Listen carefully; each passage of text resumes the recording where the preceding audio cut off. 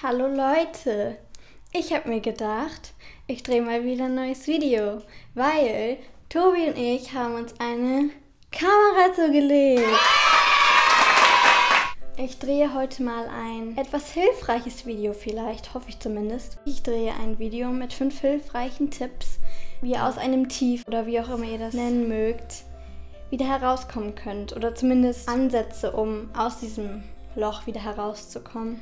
Punkt Nummer 1, und das ist der allerwichtigste Punkt von allen Punkten, denn ohne diesen Punkt ist es fast gar nicht möglich, die anderen Punkte zu befolgen. Zum Beispiel ging es mir immer so, dass ich dachte, oh Mann, kann ich nicht endlich mal normal sein? Warum muss ich mich so fühlen? Muss es jetzt gerade heute so sein? Das dürft ihr auf gar keinen Fall denken. Ihr müsst in allererster Linie akzeptieren, dass ihr euch so fühlt. Und zwar könnt ihr euch sagen, es ist in Ordnung, dass ich mich jetzt so fühle. Es ist zwar ein bisschen ärgerlich, aber es ist in Ordnung. Ich bin imstande dazu, diese Gefühle umzudrehen und mich anders zu fühlen. Ich kann was daran ändern, dass ich mich heute besser fühle.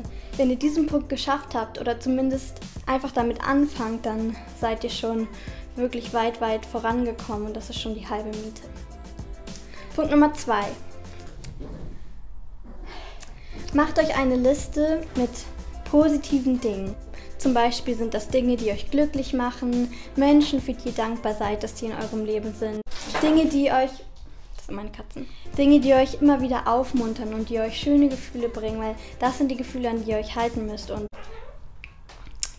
findet meine Katze auch, die euch dann letztendlich auch wieder aufbauen. Gleichzeitig, wenn ihr schon so weit seid, empfehle ich euch auch eine Liste zu machen mit den negativen Dingen. Zum Beispiel Leute, bei denen ihr das Gefühl habt, dass sie euch nicht gut tun, dass sie euch nicht unterstützen oder nicht hinter euch stehen in dem, was ihr tut ein falscher Freundeskreis. Wenn euch das nicht gut tut, dann sind das die Leute, von denen ihr euch trennen solltet. Genauso die Dinge, wenn ihr zum Beispiel das Gefühl habt, ihr müsst einmal in der Woche zum Ballett gehen und eigentlich gefällt euch das gar nicht. Ihr geht nur dahin, weil eure Mama das wirklich. Es sind nicht die anderen Menschen, die ihr glücklich machen sollt, sondern euch selbst. Mit dieser negativen Liste könnt ihr dann anfangen, langsam diese Dinge auszusortieren und so kommt ihr dem Glücklichsein immer einen Schritt näher. Wenn das manchmal schwer sein mag und ich will auch gar nicht sagen, dass es immer nur an den anderen Menschen liegt, aber es ist auch halt so, dass wenn ihr euch schlecht fühlt, dass ihr auch von solchen Leuten umgeben seid, weil man sich automatisch meistens an Menschen hängt, die dem widerspiegeln, wie man selbst zu sich ist. Es ist auch gut, immer mal einen Blick auf die Leute um einen herum zu werfen oder um die Aktivitäten um einen herum, ob die wirklich auch gut für einen sind.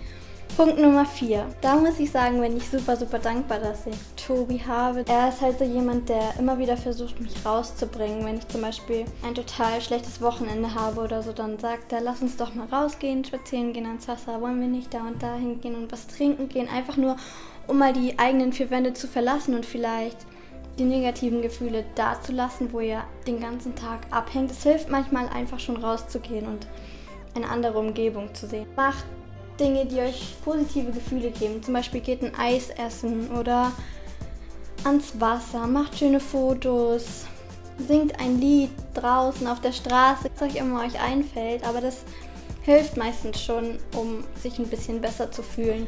Punkt Nummer 5, und das ist für viele sicherlich ganz schwer, für mich selbst auch. Sucht das Gespräch. Sucht nach einer Person in eurem Umfeld, bei der ihr das Gefühl habt, dass ihr euch dieser Person anvertrauen könnt.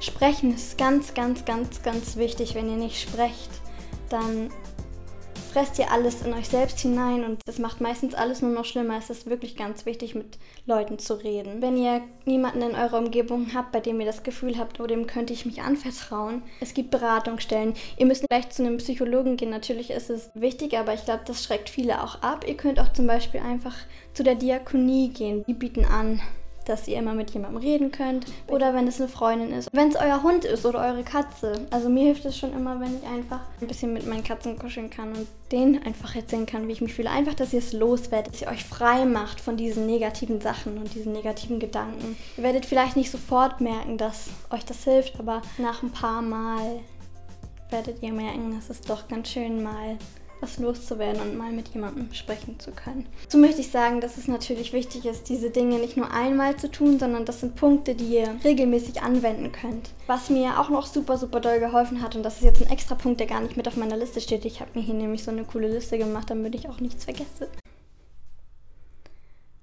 Ja, jetzt habe ich den Punkt auch schon wieder vergessen.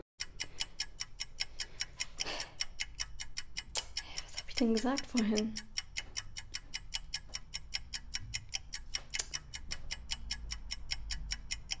Ja, weiß ich jetzt auch nicht mehr. Habe ich vergessen.